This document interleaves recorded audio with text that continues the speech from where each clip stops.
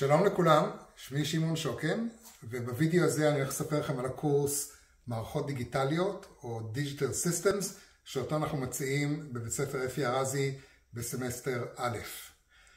את הקורס הזה אנחנו מציעים גם בעברית וגם באנגלית בשתי קבוצות נפרדות, וברשותכם אני הולך לעבור עכשיו לאנגלית כדי לחסוך לי את הצורך להפיק את הסרטון הזה פעמיים.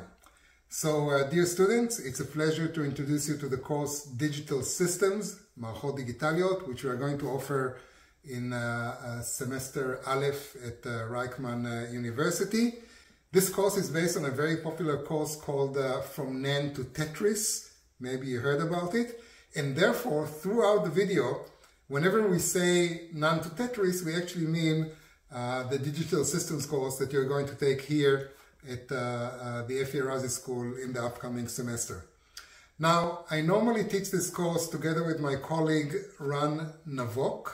Sometimes I teach it, sometimes uh, Ran teaches it, and uh, in the upcoming semester, Ran is going to teach uh, both classes, both in Hebrew and, English, and in English.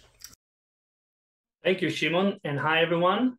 As Shimon mentioned, my name is Ran Navok and I'm uh, very happy and excited to teach this course with Shimon at Reichman University. 25 years ago, I sat where you guys are sitting as a student at what used to be IDC and now Reichman University. So it feels a little bit like returning back home.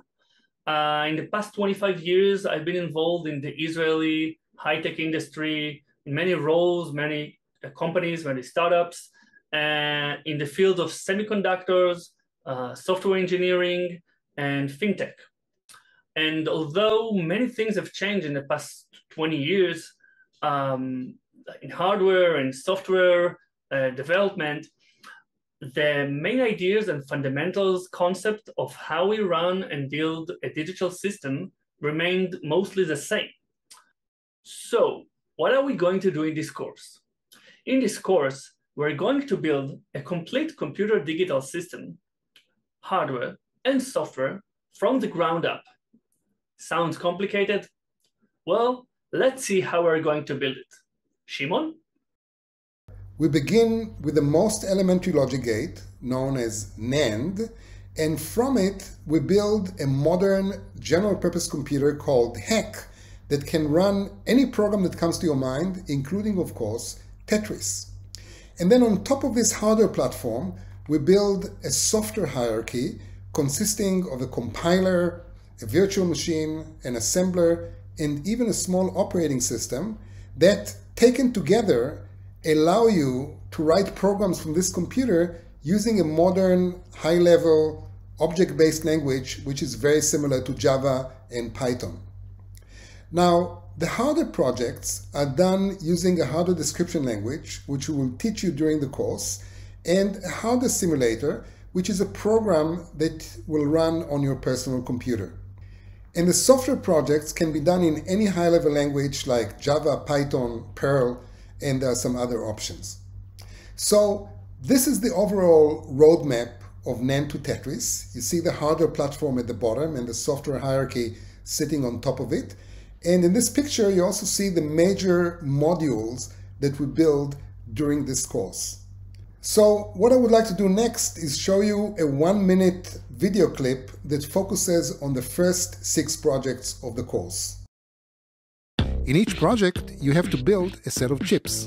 And for each such chip, we provide a complete chip specification, and you then have to figure out how to build this functionality using chips that you've built before. But don't worry, you will have to do no soldering whatsoever. Instead, you will build all the chips using a hardware simulator, just like hardware engineers actually do in practice. In the first three projects of the course, we start with the most elementary logic gate called NAND. Using detailed project materials, we will guide you through the process of building a chipset, a central processing unit, and a memory unit. In the next two projects, you will integrate all the chips that you've built before into a complete general purpose computer named Hack. We will then connect the computer to a keyboard and a screen and poof, the computer will snap into action. In the last project in the course, we develop an assembler which enables writing programs using symbolic commands rather than binary code. This will allow us to use the Hack platform to run all sorts of cool programs like Tetris and practically any other program that comes to you. So once again, here is the overall roadmap of NAND to Tetris. And once we complete building the hardware platform, we go on to construct a modern software hierarchy on top of the Hack computer.